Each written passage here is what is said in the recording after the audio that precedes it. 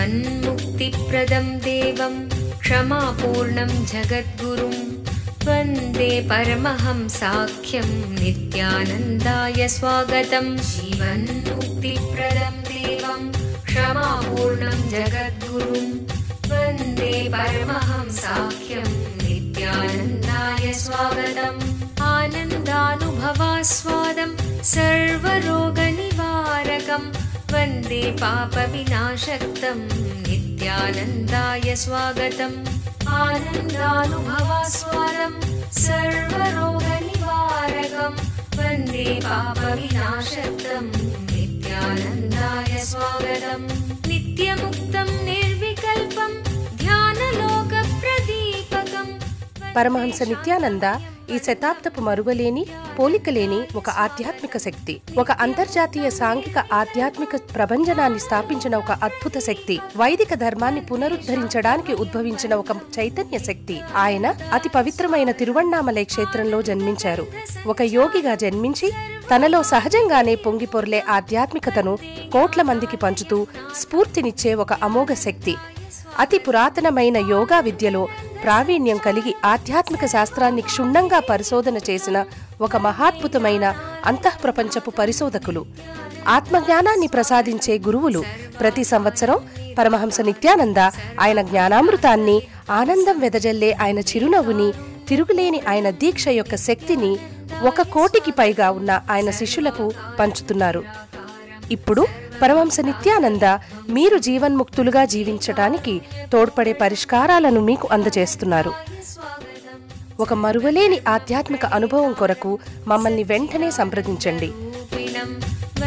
సనాతనం పుణ్యం స్వాగతం సర్వధర్మ సచ్చిదానంద రూపిణం వందే సనాతనం పుణ్యం నిత్యానందాయ స్వాగతం वेदवेदान्तसंवेद्यं देवदेवीस्वरूपिणं वन्दे वटपलाशिस्थम्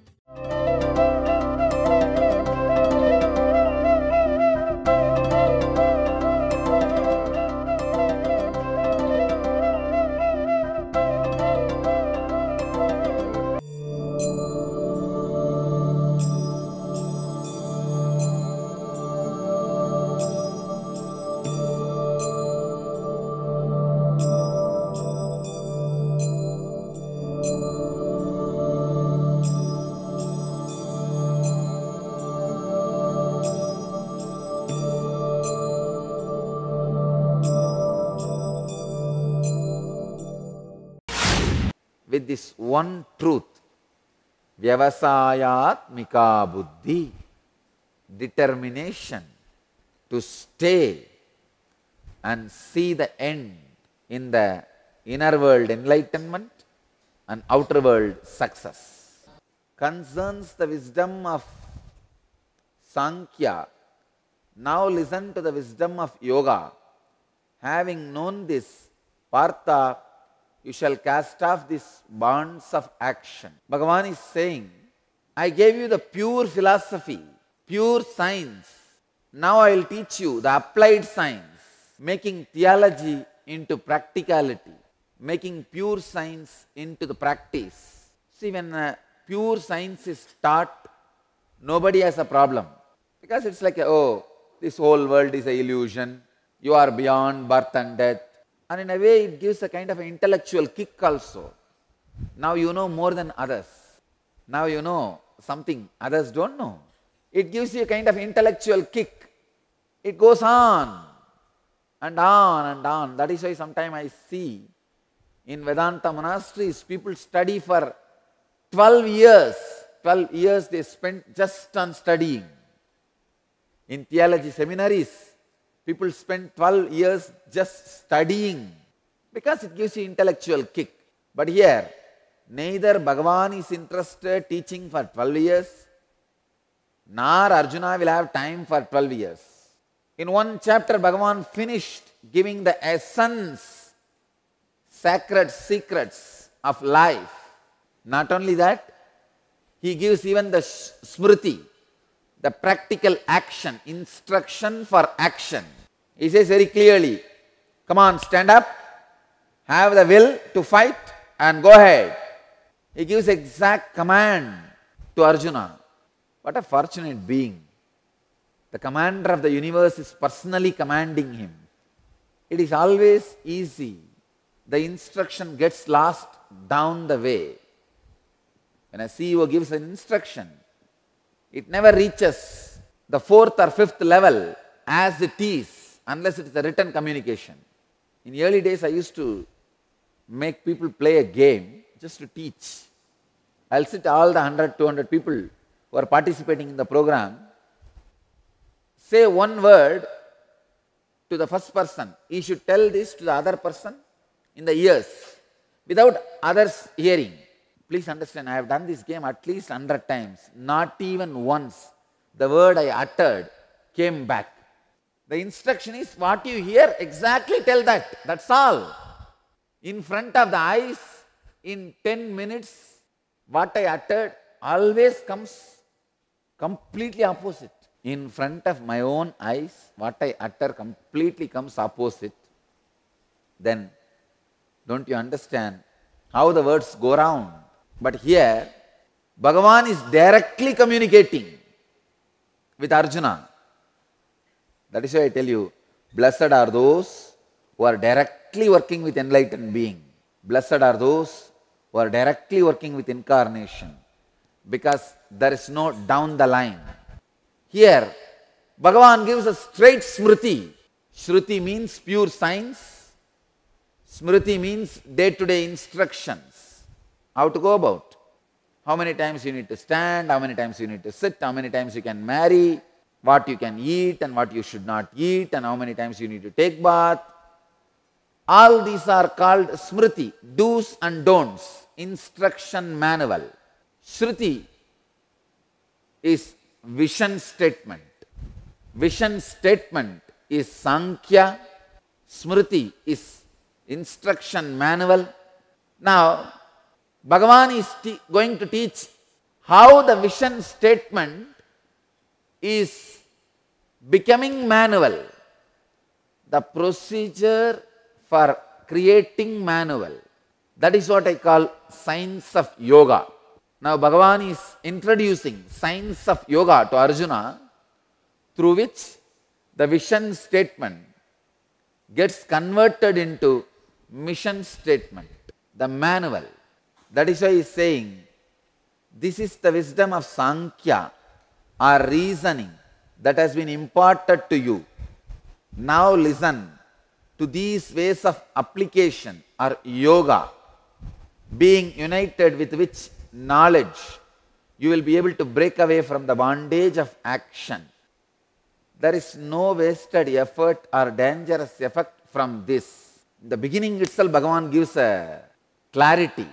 Even a little knowledge of this, even a little practice of yoga protects one from great fear. Kalpataru మీలోని కుండలిని శక్తిని తెలుసుకోగల ఒక ప్రత్యేక కార్యక్రమము కల్పతరు పూర్తిగా ఒకరోజు జరిగే ఈ కార్యక్రమములో ఆరోగ్యకరమైన అద్భుతమైన మార్పును పొందగలరు. అవతార మూర్తి పరమహంస నిత్యానంద స్వామి వారి ఆశీస్సులను ప్రత్యేకంగా పొందగల కార్యక్రమం కల్పతరు. కుండలిని అంటే ఏమిటి? కుండలిని అంటే ప్రతి ఒక్కరిలోనూ దాగి ఉన్న అద్భుత శక్తి. కుండలిని శక్తి ఒక ధ్యానోదయమైన గురుదేవుల దీక్షతో చైతన్యపరచవచ్చు.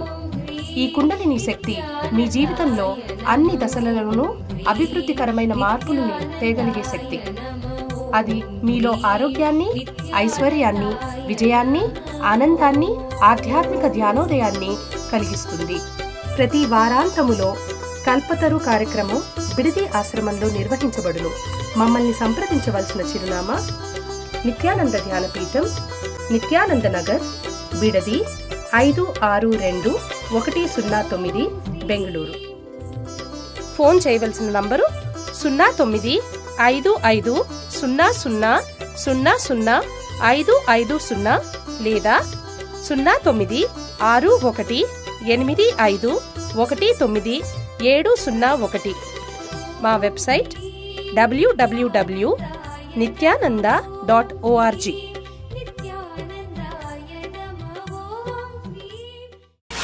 We can create one more word. Neophobia. phobia of anything new. Is the fear with which you are suffering the moment you took birth until the death because every moment is new. Everything is something new. Every person you meet in your life is new. Even if you lived with your spouse for 25 years, every meeting is new. Understand? If you think you know the person, it is going to be as usual. You will straight away have some blow, then you will realize, oh, it is new. Every moment, life teaches you, shakes you, shocks you, surprises you to remind you everything is new. Centophobia, fear of new things or ideas, is called centophobia. The whole universe, cosmos, is suffering with this centophobia. Centophobia is the central phobia of planet Earth. Anything new, you are afraid. But when death comes to you, it is going to be new. When life comes to you, it is going to be new. Constantly, it is going to be new. Person who is caught with centophobia dies without even coming out of his house. See, his house, you should not call it as a house, you should call it as a cemetery with a key. Even now, millions of people die without even crossing their state in India. Please understand. Inside this one country, millions, I am not saying lakhs, millions, I can even safely say crores. Crores of people die from the birth to death without crossing their state. What do you think is the reason? Centophobia. Fear of new place, new things, new ideas. First thing a man need to do, breaking the sphere of centophobia. I tell you, life with a spiritual understanding, living enlightenment is so beautiful, but it is so difficult to inspire or convince somebody to take up these ideas, the clarity into his life. Some hundred truths, if you understand, and take all your decisions based on it. All your cognizance, all your cognition is happening based on that hundred decision. You are living enlightenment. I am just doing postmortem on me, on my own inner space. See now, part of me is frozen on living enlightenment. Means it is sealed. Now I cannot lose living enlightenment. That core, I am cutting into pieces, analyzing, getting the black box report, postmortem report. How this freezing has happened, how this solidification has happened, what are the components of this solidification? Just 100 truths. If you change the way you take cognizance, the way your cognition happens, if that is changed, done. You are a Jivan Mukta. It is so easy and so rewarding. But unfortunately, it is very difficult to convince somebody in the initial level because centophobia. Whole world is suffering with centophobia. We are open, honest, integrated, public spiritual institution. Why do you think people are afraid of us? Centophobia. Media exploits the common mass centophobia. Krishna, a great master, Jagat Guru, the universal teacher, removes the centophobia first from Arjuna. He says, Come on, don't have centophobia. Maybe in Arjuna's eyes, Bhagavan saw the trace of centophobia. When he used the word yoga, I heard too many things about yoga. I don't know what it is. I don't know why Bhagavan is trying to teach me yoga. Having centophobia is a civil mistake. Taking decisions based on centophobia is crime.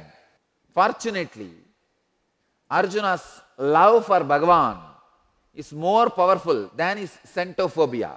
So Bhagavan is clearing the centophobia through this verse saying, here there is no wasted effort or dangerous effect from this, no side effect, no after effect. Even a little knowledge of this, even a little practice of yoga protects one from great fear. Even a little practice of yoga protects one from great fear. Here, there is no abandoning of an attempt, nor is there diminution of experience. Even a minute level of this practice saves one from intense fear. ఒక అవతార పురుషుని దివ్య సలహాను నేరుగా పొందాలనుకుంటున్నారా? ఇప్పుడు మీకు పరమహంసతో ముఖాముఖి. నిత్యానందం Nityananda here ఓ మీరు బాగున్నారా? పరమహంస నిత్యానంద మరొక్కసారి పోలిక లేని ఒక విభిన్నమైన కానుకను ప్రపంచానికి అందచేస్తున్నారు. ఆల్సో సపోర్టింగ్ బై హీలింగ్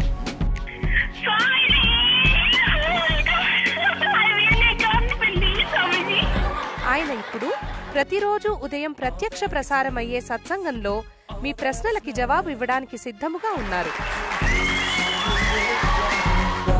అవుతుంది. నేను చూసుకుంటాను. So no you ask anything you want in your life ask me any boon you want ఉదయం ఎనిమిది గంటలకు మా నంబరు సున్నా ఎనిమిది సున్నా రెండు ఏడు రెండు ఏడు తొమ్మిది తొమ్మిది తొమ్మిది తొమ్మిదికి ఫోన్ చేసే అదృష్టవంతులకు ఆయనతో నేరుగా మాట్లాడే దివ్యమైన అవకాశం దక్కుతుంది.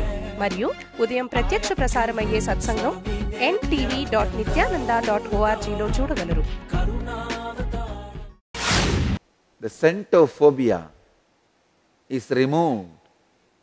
Bhagavan says even the minute level, not just a minute level, minute level of this practice saves one from intense fear. People who are not able to preserve their purpose, who don't have perseverance of their purpose, their thoughts go in thousands of branches in limitless way. Keyword for any success, password for external and internal success is determination, perseverance. Beautiful word Bhagavan is using in Sanskrit. Ready to persevere, go through the hardships, stand with perseverance, determination.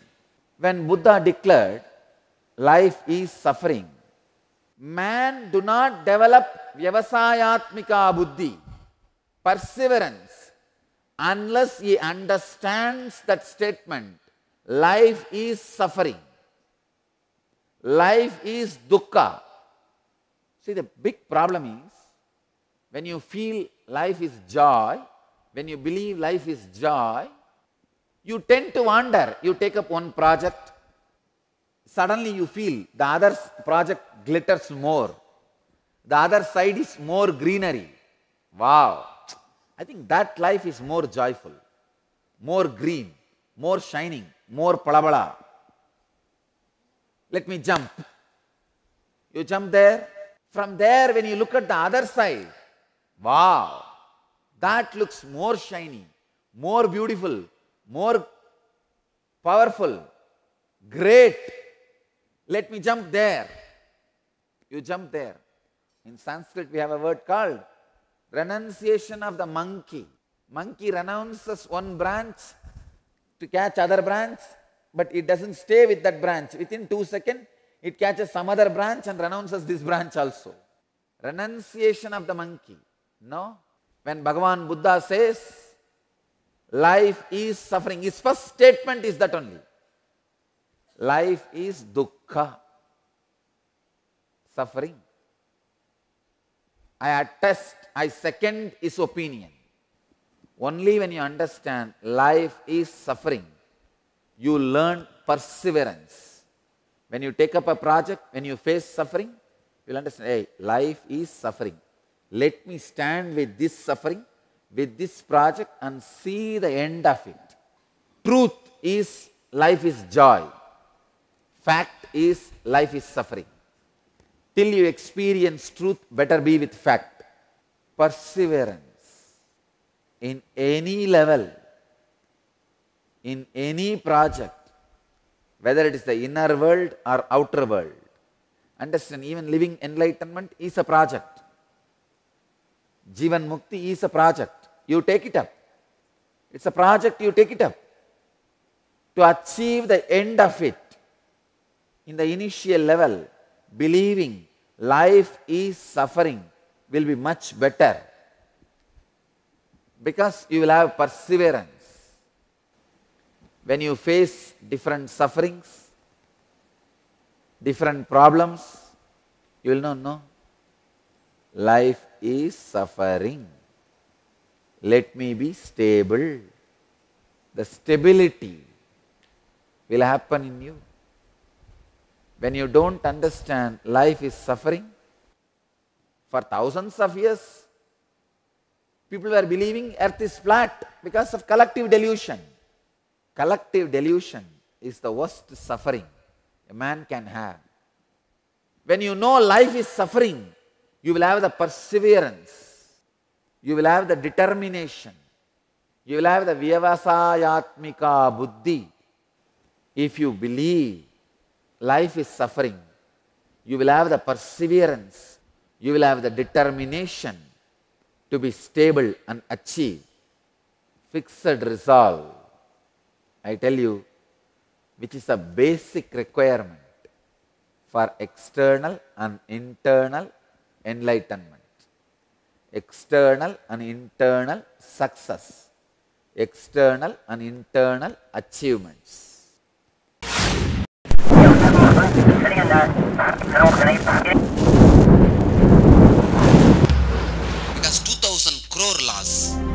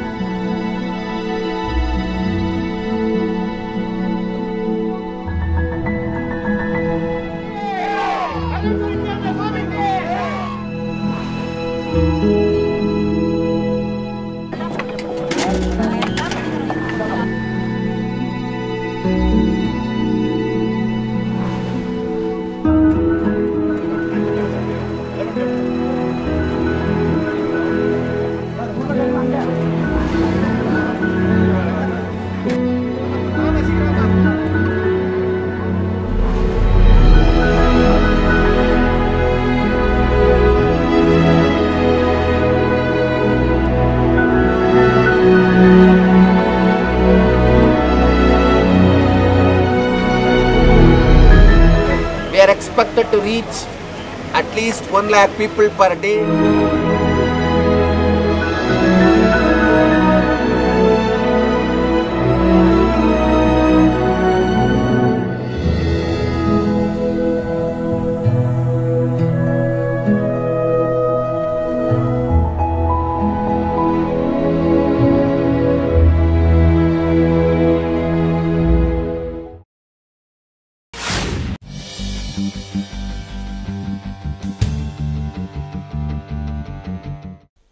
This is a question from Sarva Bhaktika from Tumkur. After doing inner awakening, so many of my mental patterns have gone, especially the worrying pattern. Thank you so much. But the patterns like craving for snacks has not gone. Sarva Bhaktika, you would really need that same Aghori tapas. Carry all the best things you like, snacks, in the carry bag, you must be able to see the carry bag continuously. You see, the bag should be see-through carry bag. Now I am giving the definition technique, technique one. List all the items which you really like and which makes your tongue experience saliva collection the moment you remember. Second, collect them and have a see-through carry bag. Organize them properly there in that carry bag. Third, carry them always around you and never eat even one bit from it. So Sarvaptiga, you can do the same technique which our Rishi did it. There's one more question from Vijay Venkatraman, Vadodara, Satsang Center. Swamiji, I had been thinking for few days. I should ask Swamiji to give me deep sleep. I get deep sleep probably once in a year. When it happens, I feel like an elephant, so much of energy. Then I said to myself, seek nothing. Yesterday, Swami gave this Kriya for deep sleep. Many thanks. Oh, Vijay blessings. Blessings to you. It's a, there's a beautiful verse in Tamil by Ramana Maharshi on Arunachala. கேளாது அழிக்கும் உன் கேடில் புகழை கேடு செய்யாத அருள் Arunachala He says that you have a glory, name. Everybody says, without even asking, you give. Please continue to do that in my life also. Great. Vijay, you got it without asking. So Arunachala has proved his glory and his name. He says very clearly he has no expiry date and his name and fame has no expiry date. Great.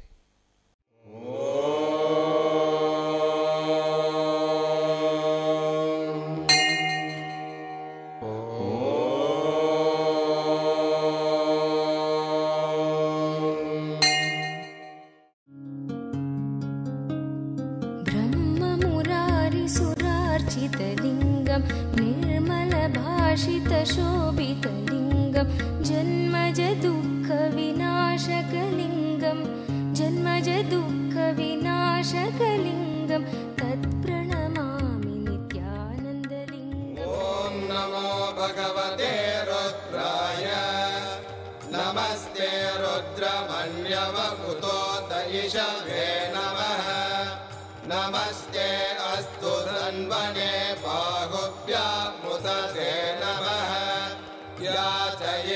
शिवतमा शिवम् बभूव ते धनुः शिव शरव्याया तव तया लो रुद्र या ते रुद्र शिवा तनोरघोरपापकाशिनी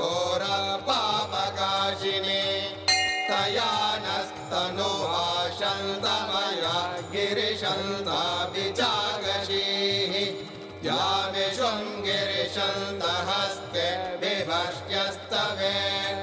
शिवाङ्गिरित्रतां कुरु माहि पुंसे पुरुषं जगते।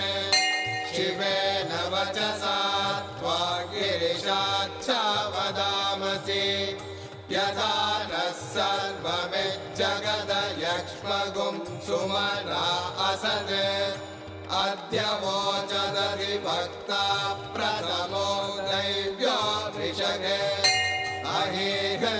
सर्वान् जम्बयन् सर्वाश्च यादुत्राण्यः असौ यस्ताम्रो अरुणपुत भभ्रस्व मङ्गलः।